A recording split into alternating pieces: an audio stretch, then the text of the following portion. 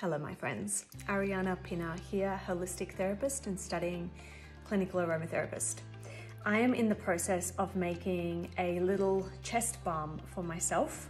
This is really helpful during times of seasonal allergies or just at times of the year where I feel like I'm a little bit heavy in the chest.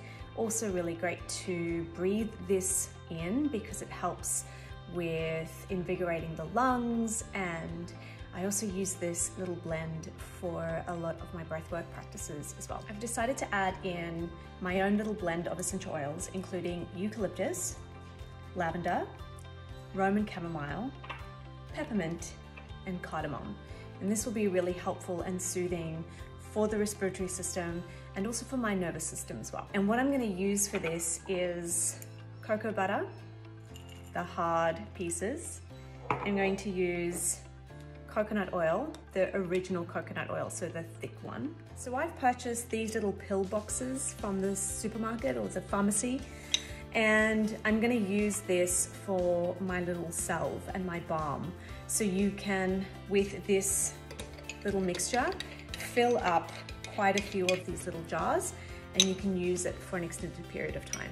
So I've gone ahead and measured out 100 grams of the coconut oil and 25 grams of the cocoa butter. To make it really easy, I've got a little bowl with a milk jug and I've just popped the kettle on boil. Placing the milk jug inside the bowl, I'm going to fill up the bowl with the boiling water, making sure that I'm careful not to spill the hot water over my hands.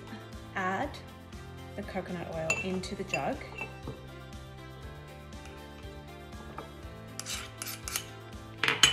and the cocoa butter as well. And so over time, not long, but over time, this little mixture will melt. If you have a double boiler, this might be easier for you to do it on a stove, but I'm in no rush, so I can wait for this to melt. One of the things that really does help the melting process is to just gently stir the mixture. Peppermint oil acts as a decongestant and an antiseptic. It's used quite commonly for indigestion, sinusitis, um, and can also be used as an antispasmodic.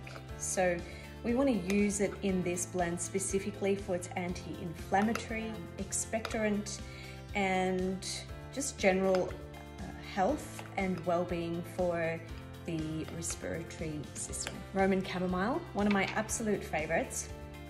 I use this a lot for calming the nervous system, but it's also great for muscle pain, asthma, anxiety, migraines, uh, and just basic nervous system regulation as well. So adding a few drops of Roman chamomile is a really beautiful way for us to ensure that the nervous system and of course respiratory system is being taken care of.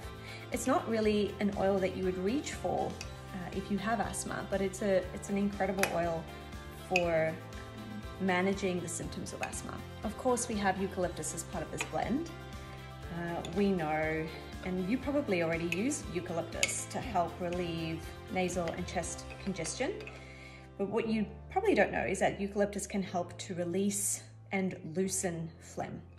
So when you take a deep breath in of eucalyptus, you're helping to treat bronchitis, you're helping to soothe coughs and even help with symptoms of the flu. See, I'm just breaking up the cacao butter, slowly but gently pressing my spoon up against the edge of the milk jug that any lumps are being dissolved. Cardamom is an oil that we don't really think about when it comes to the respiratory system, but it is an antiseptic and helps with conditions such as bronchitis. So we're really using cardamom here to help us make sure that whatever it is that we're experiencing doesn't turn into something a little bit more serious. And then my friends, last but certainly not least, lavender, a nervine tonic that can also help to reduce inflammation caused by allergies and asthma. So if you add a few drops of lavender, even to a diffuser when you're experiencing seasonal allergies, lavender will help you to breathe easier. Now we're at the point where we add our essential oils in. So your blend is completely up to you. The dilution ratio is completely up to you. For me, I'm going to add three drops of eucalyptus, peppermint, and lavender each, and two drops of cardamom and Roman chamomile each. And of course, this smells amazing. Oh my gosh. I'm gonna blend or mix the oils into the solution. And now just being really careful that the jug isn't too hot still. You'll fill your containers. Now we'll take these and pop them directly into the fridge.